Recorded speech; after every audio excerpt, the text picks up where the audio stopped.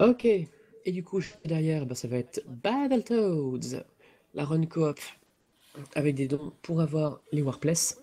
Je leur souhaite, hein, parce que la version Warp, c'est genre 3 euh, minutes, même pas. Alors que la version complète, voilà, c'est 20 euh, minutes, plutôt. Donc le retour de The Mexican Runner, bien sûr. L'expert un peu de Battletoads, quel record du monde dessus. Alors que Bad Bloody me rejoint. J'imagine que c'est pour le commentaire de Battletoads. C'est ça, c'est ça. C'est tout le monde et salut Voilà, bah moi du coup je vous laisse et je vous dis à plus tard et bon commentaire, bon marathon, continuez à bourrer les dons pour les challenges français. Bye bye Bye Sinel, merci. Donc, euh, bienvenue, il est midi 30. Euh, donc j'espère que vous avez bien mangé tout ça. Alors, euh, cette run va être assez inédite, on va dire dans le sens où euh, bah, ça va être du coop de Battletoads. Normalement, c'est souvent des races ou des. Euh, euh, ou un joueur qui joue tout seul en fait avec les deux Toads. Les deux Toads, je vais y arriver. Et donc là, ça va être The Mexican Runner et JC 583 qui vont s'essayer au coop, ce qui va être très difficile, sachant que le jeu n'est pas fait pour être euh, joué euh, en coop à la base. Enfin, c'est fait pour être joué, mais euh, les développeurs, Rare, ont un peu merdé, on va dire, le, le coop du jeu. Hein. Vous verrez ça dans le run, de toute façon. Hein. Ça va être assez bizarre. Donc, alors, au niveau du, de l'histoire, c'est deux grenouilles, donc euh, Rash et Zitz, qui doivent sauver la princesse, euh, non pas Sinael, mais la princesse euh, Angelica, et Pimple, qui est un petit peu le, gros dur de, de l'équipe, mais qui s'est fait capturer comme, un, comme une grenouille, tout simplement. Et donc c'est la Dark Queen, avec ses trois lieutenants, qui l'ont capturé et euh, voilà, donc on, doit, on va devoir passer euh, durant 13 niveaux assez intenses, vous allez voir, pour euh, sauver nos amis. Ok, donc là, il y a un magnifique Perler Battletoads de Rage pour seulement 5 dollars. Je vous conseille de donner parce que les, images du jeu, les sprites sont très très bien faits. Il faut savoir que le jeu est sorti en 91 sur euh, NES, ce qui est, euh, comment dire, euh, très tard pour la NES, tout simplement. Hein. Et l'avantage, c'est que Rare a pu, comment dire, aboutir à un rendu graphique très proche des, rendus 16 bits. Hein. Et c'est tout simplement un des, plus beaux jeux de la NES, tout simplement.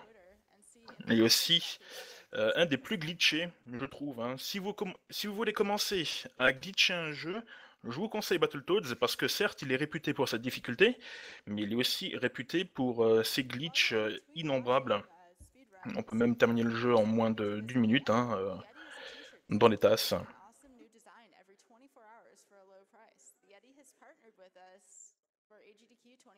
Ok, donc le Mexican, Runner se, s'installe.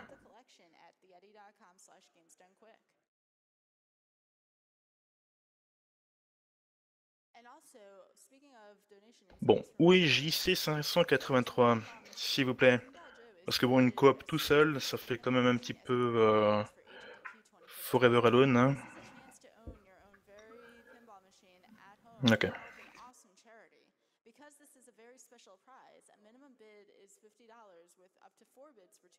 Alors, euh, il faut savoir que pour ce run, euh, ça va être assez inédit. Il y aura pas mal de choses qui vont, se, qui être faites en live euh, que l'on a très peu vu auparavant. par exemple, un glitch qui va être sûrement utilisé durant le run, enfin, durant le stage numéro 8 et le stage numéro 12, qui s'appelle le Riding Solo, qui a été nommé comme ça par Deti Nosator, Detinosator, voilà. Donc, euh, vous verrez en, temps, euh, Euh, le temps donné, ce que ça donne, perso, je ne sais absolument pas ce que ça fait parce que je n'ai pas pu le voir. Ce Mexican Runner a pu donner quelques infos là-dessus, mais il n'y a pas d'images qui ont vraiment qui ont vraiment fuité, on va dire. J'ai essayé d'interpréter et voilà. On va voir en espérant qu'il y ait un world record. Donc, les deux runners, donc The Mexican Runner euh, et JC583. Donc The Mexican, Mexican Runner, vous le connaissez, il y un euh, Nesmania, c'est lui. Ken Bogard euh, l'a honteusement plagié. Voilà, bonjour à l'ami Ken Bogard, hein. des bisous. et donc, il a mis en pause le, Nesmania pour, pour s'entraîner pour Battletoads et pour Contra, vous l'avez vu, hein, pour s'attacher des culs. Donc, euh, ça doit être optimisé en espérant que euh, il n'y ait pas trop de gros euh, fails parce qu'il y a beaucoup de choses qui sont frame perfect. Ça va être très compliqué.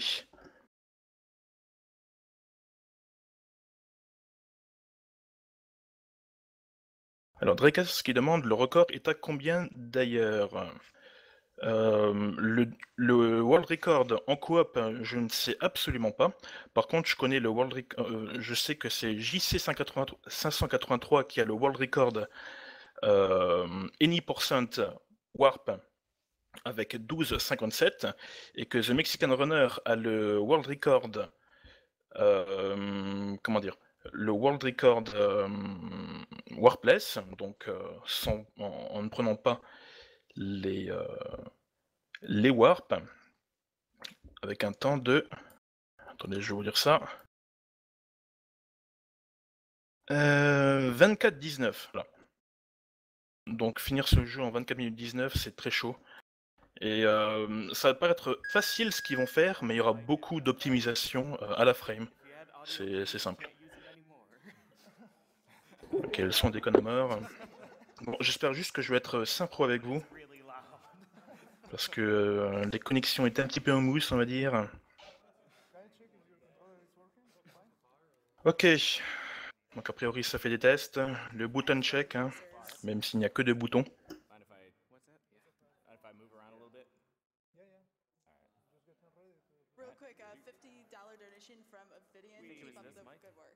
Ok, donc on va déjà euh, parler d'un truc avant que le run commence.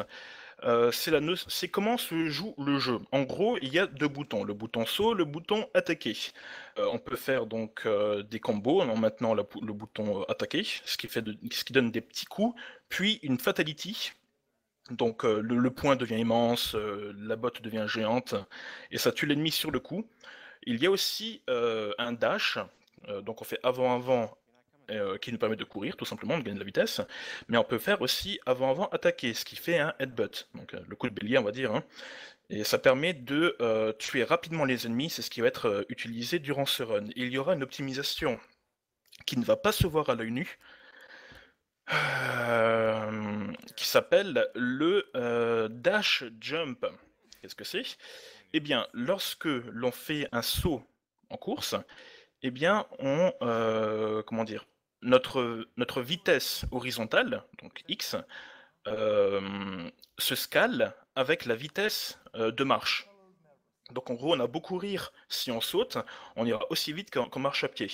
Alors que si on fait euh, le double input, double input pour faire le, la course, donc avant-avant, et que au second avant, on appuie sur sauter, on fera ce qu'on appelle un dash jump, ce qui permettra d'avoir la vitesse aérienne enfin une vitesse optimale dans les airs.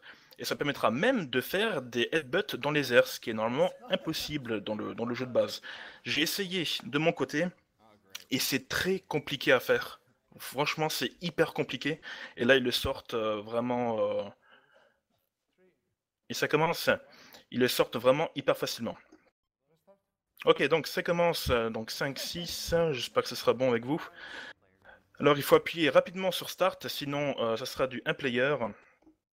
Alors là, ce qui va se passer, c'est que euh, il y aura beaucoup de headbutts qui vont être utilisés. Normalement, on peut prendre euh, le, bâton. Ah, ils le prennent, d'accord. normalement, on le prend pas. Petite perte de temps là. Parce que le bâton... Oh, ok, d'accord. L'optimisation est ici. Donc ils vont juggler les adversaires avec le bâton. voilà, donc là... oh là là, bien joué ça. Donc là, ce qui s'est passé, c'est qu'ils sont allés... il faut deux coups pour tuer les sortes de cochons volons. Volons, oui. Ils ont des volons sur, sur leur dos. Et euh, on peut aussi les, euh, les, monter si on veut, ça permet de cracher du feu, de planer, mais dans le run ça sert strictement rien. Et donc à la place de euh, donner un coup, attendre qu'il retombe et le tuer, eh bien ils ont fait nos petits sandwich, comment on pourrait l'appeler. Donc un gars à gauche, un gars à droite, et c'est la mort. Ici, mini-boss, hein, très très facile, il nous renvoie des boules, on lui renvoie la boule, c'est fait. Voilà, second niveau, euh, The Wookie Hall. Alors ici, ça va être très simple. C'est un scrolling vertical. Donc euh, le but, ça va être de tuer tous les ennemis qui apparaissent à l'écran pour euh, pour éviter tout simplement que le scrolling s'arrête. Un petit peu comme Chad de Super Meat Boy. Donc en gros, il faut tuer tout, le, tout, ce qui est, tout ce qui apparaît, quoi, hein, histoire de bah, d'aller rapidement.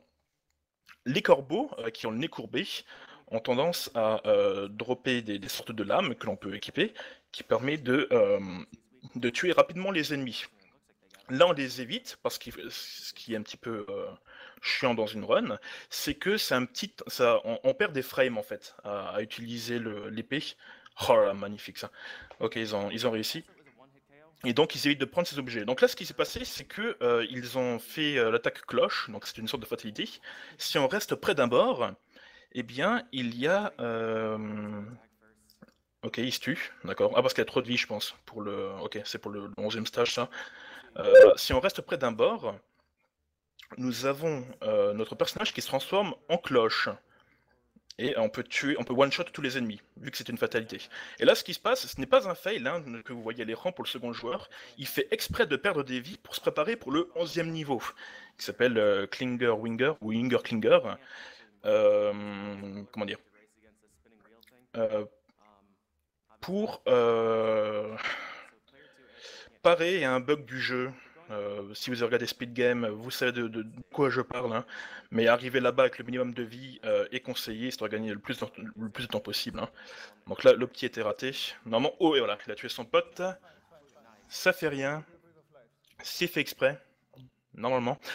Euh, parce que voilà, le, Friendly Fire euh, est disponible dans le jeu, hein. vous pouvez tuer votre pote, voilà, il ne se gêne pas. L'enfoiré. Ok. Bien joué.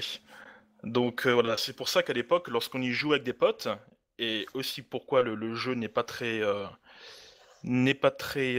comment dire euh, optimisé pour le second pour, le, pour les deux joueurs en fait, c'est qu'on peut tuer ses potes et on peut les tuer assez facilement grâce aux euh, aux, euh, fatalities qui sortent assez aisément. Donc là, ce qu'on fait à ces ennemis-là, normalement, on est censé les attaquer, les mettre à terre, puis les, taper.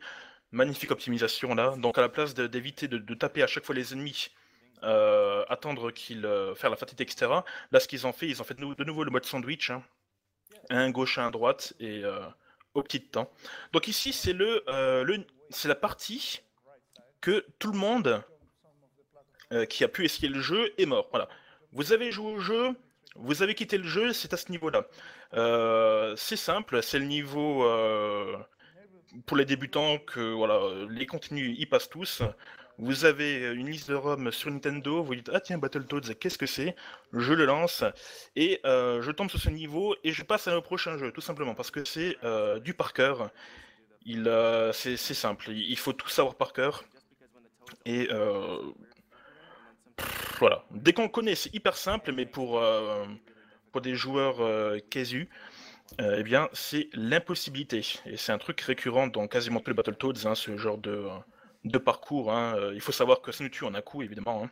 Sinon, c'est pas drôle. Parce que bon, euh, il n'a pas euh, la dénomination du jeu, le, un des jeux les plus difficiles pour rien. Hein. Quasiment tout peut nous tuer en un coup. il faut savoir que ici, solo, on peut skipper totalement cette, cette zone, le, donc le turbojet, simplement en utilisant un, glitch qui est aussi hyper compliqué à, faire marcher. Hein. Justement, The Mexican Runner, lorsqu'il avait fait la GDQ 2014, a essayé de le faire lorsqu'il a joué au jeu en solo. Il a raté, il a dû reset plusieurs fois la console avant de même pas y arriver, hein. il a dû faire la course. L'optimisation n'était pas au rendez-vous. Et euh, donc en gros, ce qu'il faut faire, c'est prendre le turbojet et vite tomber dans un trou avant de passer la ligne d'arrivée. Euh, ce qui en fait, euh, le, jeu ne comprend pas, le jeu est mal codé, donc il se dit comment est-ce qu'il a pu tomber avec un véhicule alors qu'il n'a pas passé la ligne? donc ce qui se passe, c'est que le jeu bug, il glitch. c'est très facile, enfin c'est très facile. À, deux joueurs, c'est très facile à faire, mais en solo, c'est quasiment impossible. Et ça permet de skipper toute cette partie-là, parce que le jeu se dit bon allez. J'en ai marre de réfléchir, j'en ai marre. Euh, je, te, passe au prochain niveau. Et on arrive donc à Arctic Caverns. Ce, stage est très difficile. Je pense qu'il y aura des optimisations qui vont être faites là. Ça va très très vite. Donc là, ce qu'ils font, ils, essayent de faire. Ah non, ils essayent pas. Ok, d'accord. Euh, ils prennent leur temps. Donc là, ça se voit que c'est durant la euh, durant GDQ. C'est qu'ils font normalement le dash fall qu'est-ce que c'est le dash fall Eh bien, il faut euh, appuyer le, faire le sprint et la direction inversée au moment où on tombe euh, de, euh, de la pente. Ce qui permet en fait, comme pour le dash jump que j'ai expliqué au début de, jeu, de d'avoir la vitesse optimale dans les airs, donc, et ne pas avoir la vitesse de de comment dire à pied. Voilà et donc de gagner quelques, quelques millisecondes. Voilà, ici normalement euh, on peut optimiser euh, en faisant un sprint euh, headbutt et arriver directement dans le trou, mais là il teste pas, hein. il joue la sécurité, c'est ce qu'il faut faire. Donc parce que il faut savoir que dans le jeu, les morts nous font respawn au, précédent checkpoint, si on joue en solo. en coop, ça peut le faire aussi, ça dépend des niveaux. Hein. Ça, dépend si c'est un niveau beat'em comme, comme ici on va dire, ou un niveau avec des véhicules hein, comme le turbojet ou le, euh, ou le niveau genre euh, Vladimir Inferno. Alors donc le, but de, ce niveau c'est tout simplement de prendre les glaçons, de les balancer sur les barrières et d'ouvrir le passage. Voilà. Donc vous pouvez voir que il arrive, ce souhait très difficile, euh, il arrive que, voilà, la mort en poule, donc là, ils reprennent euh, au précédent checkpoint.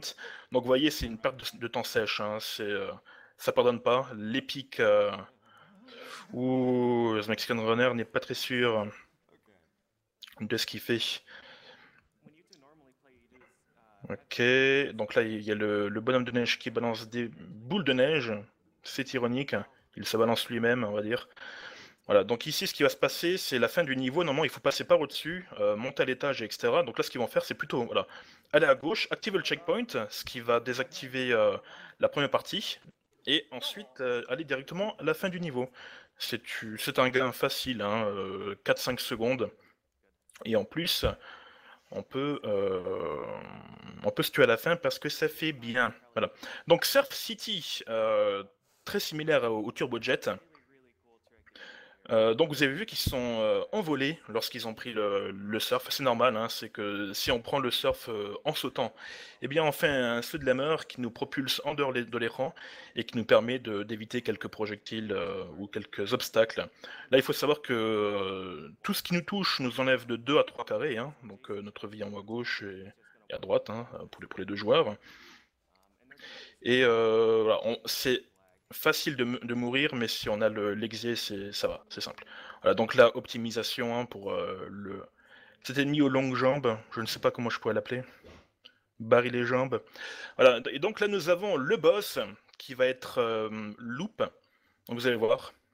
Oh, joli Pas mal Ok, d'accord.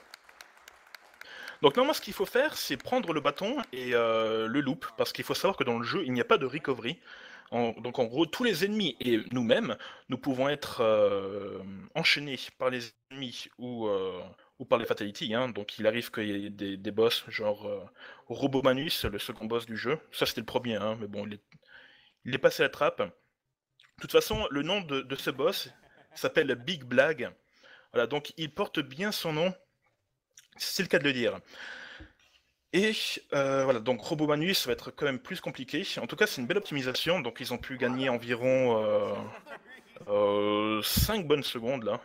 C'est vraiment pas mal. J'ai jamais vu ce, ce, ce, truc. Donc en gros, ce qu'ils ont fait, ils ont, euh, ils ont profité de l'envoi du boss pour ensuite faire une fatalité. Et comme je vous l'ai dit au début du stream, les fatalités tuent à tous les coups le euh, l'ennemi qui est concerné. Donc là, euh, même si c'est un boss, on s'en fout. Le pied, euh, le Bigfoot dans ta gueule. Et c'est la mort. Voilà. Donc ce, niveau est très très lent pour les speedrunners. Hein. Donc en, en bas à droite, est-ce qu'ils vont essayer d'aller au warp hmm. Non, ils, vont pas essayer d'aller au warp, d'accord. Généralement, ils peuvent faire un petit trick ici pour arriver ici plus tôt, mais ça, ça change pas grand-chose. Hein. Vu que c'est un scrolling euh, obligatoire, il n'y a aucune optimisation possible, à part au, dernier segment du, niveau. Donc là, ce qu'il faut faire, il faut prendre les serpents, les MP, hein, et ensuite euh, suivre la trajectoire des serpents, voilà, tout simplement, en évitant euh, les pics. Donc rien de on peut, peut pas vraiment euh, optimiser ici, il y, a quasiment rien. Hein. Ils peuvent peut-être se balancer l'un l'autre pour arriver dans le trou. Ah, est-ce qu'ils vont le faire? Ok, d'accord, il en fait pour le premier. Mais comme vous pouvez le voir, il faut que les deux Toads arrivent dans le trou pour que euh, la victoire soit, comptée. Alors ce niveau s'appelle, attendez, je vais vous lire. Je tente de chercher de façon. Hein. Je peux peut-être même vous dire une trivia nulle. Hmm. C'est l'air, voilà. Ou Snake Pit, hein, au choix. Là, ce saut est assez compliqué normalement, mais il le passe sans souci. Donc là, en fait, c'est aussi du, euh, par cœur, hein. il faut attendre. Attendre, attendre, attendre, parce que si on va trop vite, on se prend les pics. Et donc euh, là aussi, c'est un niveau où tout le monde euh, est facilement mort lorsqu'il a, lorsqu'il le jeu. Hein. Même si la plupart des joueurs ne sont pas arrivés là le, premier coup. S'il y a une personne dans le chat qui a réussi à arriver ici euh, avec sa première vie, enfin avec sa première vie, euh, en jouant pour la première fois au jeu, euh, je lui tire mon chapeau invisible que vous ne voyez pas. Voilà. Et donc ici, il va y avoir une optimisation normalement. Donc en gros, ce qui va, ce qui va se passer, c'est qu'ils vont faire une sorte de, damage boost, même si là c'est plus un def boost. Donc en gros, ils vont se jeter sur des pics, ce qui va permettre de se jeter euh, directement dans le trou et donc de gagner euh, quelques, même pas quelques secondes, c'est même beaucoup de secondes. Normalement, ça va être ici. Est-ce qu'ils vont le faire? Ok, c'est bon, ils ont réussi. Magnifique. Et ce qui, est, encore plus génial, c'est que le Mexican Runner a fait le, dash jump que je vous l'ai dit avant. Donc il avait une vitesse optimale dans les airs et il a pu directement arriver dans le trou. C'est très très compliqué à faire, surtout euh, lorsque lorsqu'on est, on est à l'arrêt. Hein. Donc ce niveau, Vlaxmir Inferno, ressemble beaucoup au niveau 3, sauf que là, les rats euh, sont... Et voilà, ils tombent dans le trou. Et... Ok, d'accord, ils respawnent seulement, ça va. Ah, perte de temps, et voilà. Aïe, aïe, ok, c'est bon. JC a rattrapé le coup. Sauf que les rats, cette fois, se font tuer en un coup. Hein. Euh, tous les ennemis se font tuer en un coup même. Hein. Un petit coup de poing, ça suffit. Euh, l'attaque bélier, ça suffit aussi. Donc, pour voir, normalement, ici, ce sont des, Space Invaders qui viennent vous prendre votre vie. Une manière de, casser un petit peu le quatrième mur, hein, vu qu'ils. Euh, comment dire Qu'ils prennent de votre vie euh, en dehors. Enfin, dans le HUD, quoi. Hein. Quelqu'un m'a posé la question est-ce que j'ai run ce jeu? C'est un jeu de l'enfance, c'est un jeu du cœur que j'ai beaucoup travaillé de mon côté, mais que je ne run pas. C'est plus pour les glitches que je le travaillais. Je connais beaucoup de glitch, sur ce jeu et on en découvre euh, beaucoup. Bah, là, justement, euh, soit qui va être euh, normalement au prochain niveau, le riding, riding solo. On va bien voir ce que c'est. C'est quelque chose qui n'avait pas été, enfin, qui n'a normalement pas encore été utilisé. En tout cas, la manière de tuer le boss, que l'on a pu voir avant, c'est un truc que je n'avais encore jamais vu. Donc, vous voyez, c'est un petit peu comme tout ce qui est FF6, Super Metroid et, autres, on trouve à chaque fois de, nouveaux tricks et de nouvelles manières d'optimiser le, temps et le jeu. Alors ici, euh, voilà, magnifique. Oh merde. Ok, donc là, mort du second joueur. Il s'est pris une boule de feu. Il faut savoir que les boules de feu tuent en un coup. Hein. De toute façon, tout ici tue en un coup. Les barrières, les missiles, les boules de feu. Même le one-up peut être euh, capricieux. Euh, donc là, ce qu'il faut faire, c'est tout éviter et faire gaffe. Il a encore failli se prendre une boule de feu. Hein. C'est c'est compliqué. Ça, ça, a l'air assez simple comme ça, hein, mais il faut se concentrer et vraiment euh, faire gaffe, quoi, hein, parce que c'est généré, voilà, c'est la mort. Généré aléatoirement. Je pense que JC553, vu qu'il est plus, euh, comment dire ça, habitué à faire le, warp, euh, normalement, je crois que ce niveau est, est, skippé si, si, si on prend les warps. Donc je pense qu'il y a peut-être un manque d'entraînement, mais le petit one-up, ça fait toujours plaisir. Mais euh, franchement, c'est compliqué. Hein. Il faut vraiment jouer au jeu pour, euh, pour, euh, pour comprendre la douleur. Hein. C'est pas pour rien que ce jeu est, noté comme un des jeux les plus difficiles sur toute plateforme confondue. Hein. Ça demande de la patience, de la passion et surtout du skill. Voilà. Donc là, les missiles partent d'en bas, reviennent au-dessus. Euh, la hitbox de, notre vaisseau euh, est assez petite en fait. Hein. Le, devant et l'arrière ne sont pas vraiment comptés. Par contre, le milieu, euh, bon bah voilà, c'est comme tout, bon shoot 'em up. Hein. un vrai vaisseau, c'est un vaisseau qui n'a qu'un pixel de hitbox. Hein. De toute manière. voilà, donc ici c'est le un des passages les plus difficiles. Donc là c'est du par cœur, voilà, il faut s'adapter. Donc là on avance trois fois, on recule ensuite deux fois, etc. Voilà. C'est un piège à con, il faut le dire. Hein, le, jeu veut vous tuer. C'est un petit peu comme l'Amulana, euh, mais sauf que là, c'est... Euh, euh, les ennemis, ce sont des obstacles, du poison, de l'électricité et des canards. Oui, parce que des canards peuvent, peuvent vous one-shot dans ce jeu. Faut le savoir. Ok, donc là, est-ce qu'ils vont réussir? Le dernier. Et ok, c'est bon, GG. Il est très très compliqué ce, dernier passage. D'où le fait qu'ils applaudissent. Vraiment GG. Donc là, alors on va voir le riding solo. Normalement, ce qui va se passer, c'est qu'il va y avoir une boule jaune qui va essayer de les bouffer. Donc voilà, ici tout tout vous tuer. Hein. Électricité, poison, euh, boule jaune bizarre. Donc là, normalement, ce qu'ils vont faire, c'est euh, le second joueur va être euh, attaqué par la boule jaune et le premier joueur va essayer de le choper de le prendre, hein, vu qu'on peut, il y a le, le friendly fire, on peut donc porter le second joueur. Normalement, normalement, euh, les joueurs seront libres de mouvement. Donc on va voir ce que ça donne. Ok.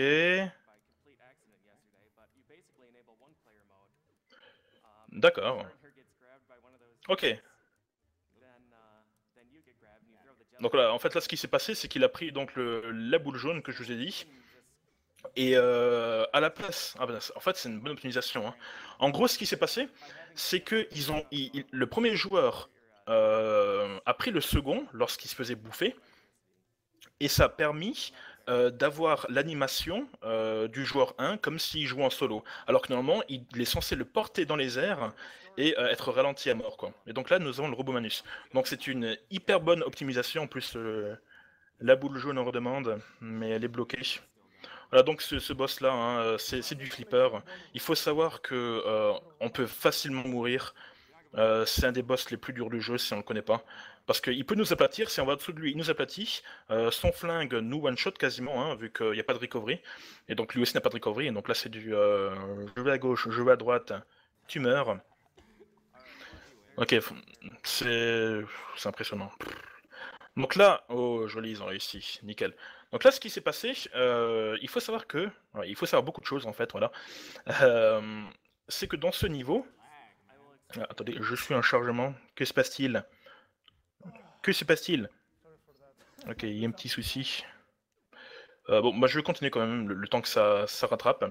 ce qu'il faut savoir, c'est que à chaque fois qu'on commence un niveau, on peut appuyer sur la touche saut et ça nous fait un saut à n'importe quelle hauteur où on se trouve. Et donc là, on commence euh, le niveau euh, en hauteur, donc dans les airs, hein. ce qui fait qu'on fait un saut euh, dans les airs. Et on peut passer donc à travers le, mur, faire un out et, et, skipper une partie du, niveau assez facilement, même si elle est assez mini. Hein. Il y a moyen d'optimiser à fond, mais ils le font pas actuellement pour, pour, la run de la GDQ. hein. Ils vont, cette, partie, enfin ce niveau, euh, peut être euh, optimisé d'une euh, d'une très bonne manière, mais c'est hyper chaud parce qu'il faut prendre beaucoup de risques, euh, de oui, beaucoup de risques, beaucoup de risques surtout, et c'est souvent pixel perfect quoi, hein, c'est la frame près, c'est c'est compliqué. Il faut savoir que dans ce niveau, euh, les pics que l'on voit ont l'air dangereux, mais il y a seulement une moitié, euh, une moitié des pics qui sont euh, qui ont une hitbox en fait. Donc seulement la partie supérieure du de des pics. Donc ce qu'on peut faire, c'est passer en dessous des hitbox sans souci. Ok, d'accord, là ça fait un petit peu le show. Et euh, on peut donc skipper certaines zones alors que normalement euh, on est censé crever. Mais euh, la hitbox n'est pas présente, donc on en profite hein, et c'est c'est la facilité. Il y a aussi des ennemis, les requins, les trucs jaunes qui peuvent vous tuer assez facilement. C'est la galère.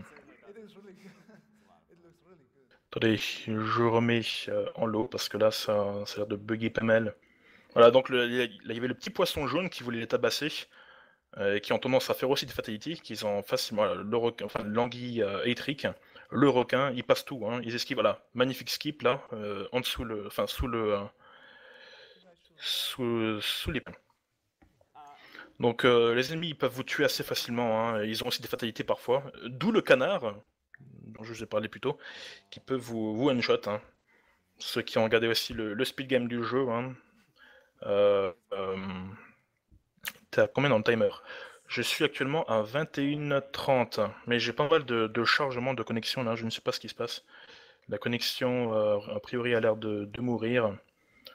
J'ai- croisé Dingodro là-bas, et je pense qu'il m'a refilé sa connexion au passage. Voilà. Un petit peu comme, euh, comme la grippe. Ça doit être ça.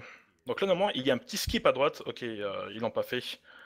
Donc le, le, voilà, le- le- canard. Normalement, il pouvait passer euh, via le- les pics euh, du bas et le pic du haut, vu que la hitbox n'est pas, pas bien représentée.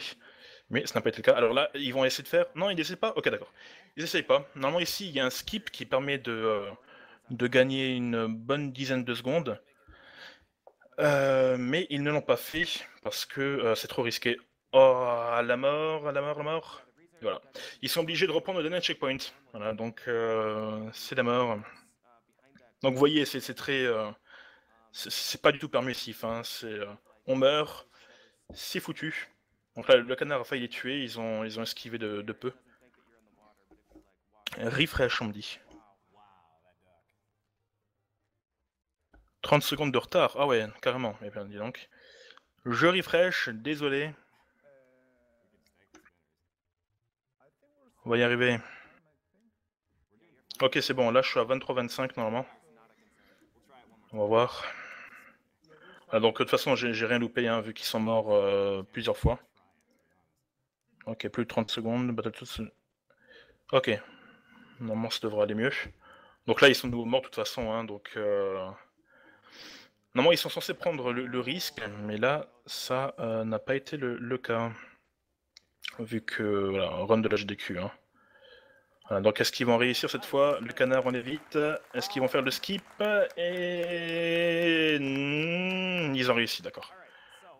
C'était serré. Normalement, ce qu'il faut faire à la fin du niveau, il faut prendre le spinner, donc le ventilo bizarre, et descendre. Voilà, donc là, c'est le, skip du, euh, du rat race. hein. Euh, donc attendez, je, vais vite fait expliquer ce qui se passe avant. Euh, normalement, on prend le spinner et on évite les obstacles. Sauf que là, euh, ils l'ont fait tout manuellement. hein. C'est très compliqué à faire et ils l'ont fait du premier coup. Et là, ce qui s'est passé, donc, euh, le rat race au début du niveau. Attendez, est-ce qu'ils vont réussir? Ils ont réussi, putain, GG. Donc, euh, skip entier du niveau. Voilà, le niveau n'existe plus, rat race. euh, voilà, donc là, par contre, ils vont devoir se tuer. Donc ça va permettre de- d'expliquer ce qui se passait au dernier niveau. Donc là par contre, ils, vont devoir euh, tuer le, second joueur, euh, sinon euh, ils ne peuvent pas avancer tout simplement. Donc là ce qui va se passer, le Zitz va mourir et il reviendra au dernier niveau, donc le niveau 12, pendant que euh, Rash fera tout le niveau. Donc alors, ce qui s'est passé durant le rat race. Donc au début, ils ont spawn, ils ont, le, le, second joueur a pris le premier et ils sont allés, ils ont sauté. Ce qui s'est passé, c'est que l'axe Y n'a pas compris. Et donc les entités se sont retrouvées au premier checkpoint, qui est censé être la, zone la plus basse. Hein, pour le jeu.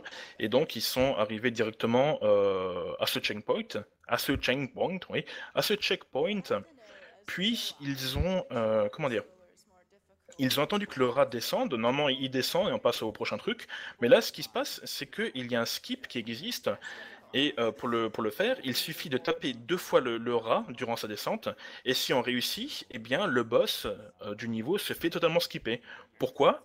Eh bien, euh, le flag du boss, on va dire l'idée, est la même que les rats. Donc, lorsque le rat se fait tuer, eh bien, le jeu considère que le boss est tué et passe donc au prochain niveau sans souci.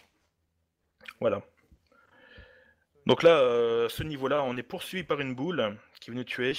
Ce niveau est très très compliqué. Euh, là, il, fout une, une comment dire voilà, on voit même plus la boule, hein, voilà, c'est un petit peu comme le, staff bot hein, de, de, F0 on ne le voit plus. Alors que normalement, il, nous colle aux fesses hein, si, on, si, on, si on débute ce, niveau. C'est très compliqué.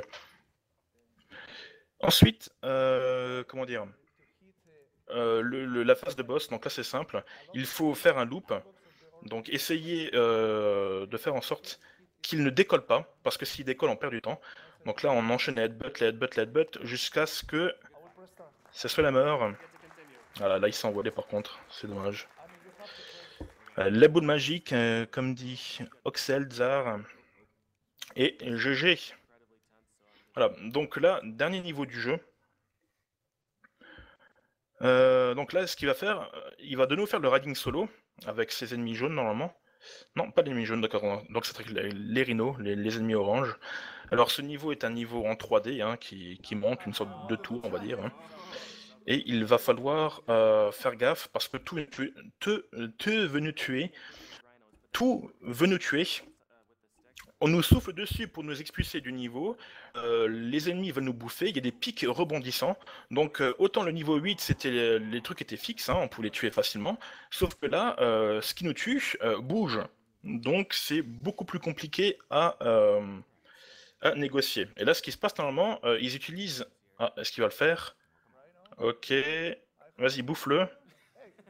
Voilà, c'est bon. Ils ont réussi à faire le raiding solo. Donc là, c'est la même bug que le niveau 8. Hein.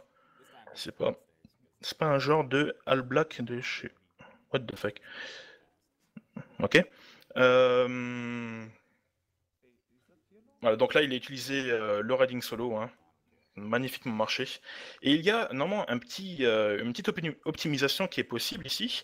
C'est quelque chose qui s'appelle le Dash Spring. Donc en gros, il les rebondisseurs, hein, comme vous pouvez le voir. Salut à l'heure de GE2. Et on dit tous joyeux anniversaire à GE2. Hein. Voilà, le niveau du rebondisseur pour son anniversaire. Et si on arrive à faire un sprint au moment où le, rebondisseur rebondit, justement, eh bien, on peut gagner, euh, on peut avoir la vitesse euh, optimale dans les airs, comme euh, tous les, autres optimisations que je vous ai dit depuis le début. Hein. Donc le dash fall, le dash jump et, ce genre de choses, quoi. Donc ça se voit pas à l'œil nu, mais c'est quelque chose de très très compliqué à faire. Et ça permet généralement de gagner quelques frames, voire même quelques millisecondes qui est accumulé durant tout le niveau, parce que vous voyez qu'il y a beaucoup de, rebondisseurs. Eh bien, euh, euh, c'est euh, voilà, c'est compliqué, c'est la difficulté. Jérémie qui dit fraise, enfant, remember. voilà, les valeurs sûres, Jean-Pierre Coff. donc bientôt le, boss du jeu, hein, donc la Dark Queen. ce sera la fin de la run. Attendez, est-ce qu'on y est bien ou pas? Alors, pour le boss de fin, euh, il y a une optimisation qui existe. C'est. Euh, en gros, normalement, ce qu'il y a, c'est que le pattern du boss, c'est on l'attaque. Ok, donc le boss est en cours là. Euh, on l'attaque, elle s'envole, elle devient une tornade et elle devient invincible. Voilà, comme vous pouvez le voir, elle a failli le faire. Hein. Mais là, ce qui se passe, c'est qu'on peut faire une optimisation qui consiste en fait à toucher euh, l'arrière, euh, son arrière-train en fait. Hein. On, la touche devant, mais c'est- l'arrière qui se fait toucher la hitbox arrière, ce qui fait que ça réinitialise son pattern et elle ne s'envole jamais. Mais là, en deux joueurs, ce qu'ils font, ils, font le flipper et c'est le GG. Donc là, il va- y avoir le, le time. hein. Ok, et ils envoient Rash sur la Dark Queen. Tu runs le jeu, Bobby Non, je ne run pas le jeu, mais j'ai, euh, je- je- j'essaie de trouver des glitches sur le jeu. J'en ai trouvé quelques-uns, mais aucun qui euh, n'est grandement utile pour, pour les runs, on va dire. Voilà, c'est le GG. Donc, euh, Pimple a été sauvé, la princesse euh, Angelina aussi. Euh, très bon run. Il y a eu, euh, ça peut être, ça peut être encore plus impressionnant que ça, mais là, euh, de base, en coop, c'est quasiment impossible de le faire si vous ramenez la NES dans le, dans le, dans le salon avec un, avec un pote. hein. C'est, voilà, c'est, c'est le beau jeu. Voilà, comme dirait l'ami MV. Voilà, j'ai l'éclat pas sur le chat.